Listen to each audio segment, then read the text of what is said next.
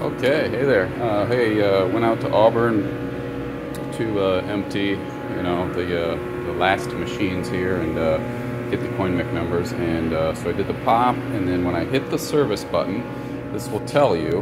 Um, I can't see it now. But when I hit the service, it said short, S-H-R-T, and then it said 13, meaning okay, there's a short in the motor. 13, meaning something's stuck.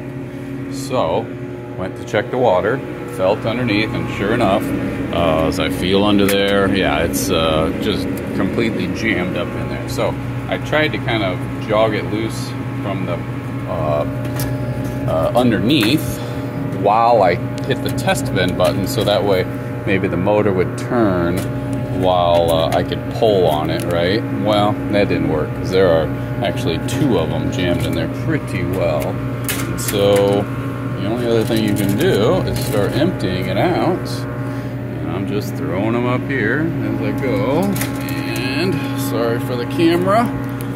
Um, here we're getting down to it and you can see there's one jammed like that.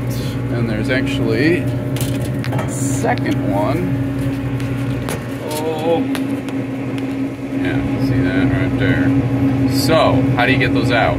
Uh, got to work them out. Um, you really don't want to try to turn that uh, motor on its own, or I mean with your hand, uh, like backwards or anything else. You can turn it in the direction that it wants to go, but it doesn't want to go that way because uh, turn it in the direction that it's supposed to go is what I meant to say, but it doesn't want to do that because it's jammed. So you got to do your best, work it from the top, work it from down low, just try to get those out, and then um, and then start over. And do not put those bottles back in because they're going to be soft and uh, you know all jammed up. So I will be back once I get this worked out. Some of them are easy, some take a while.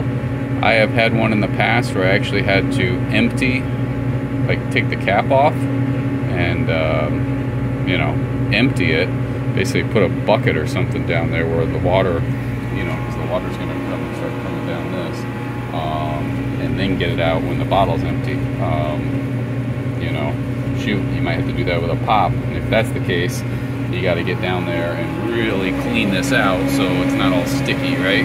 So just, uh, you know, certain things happen. There's always a fix. Um, take them as they come. So uh, I'm going to pause this and work this out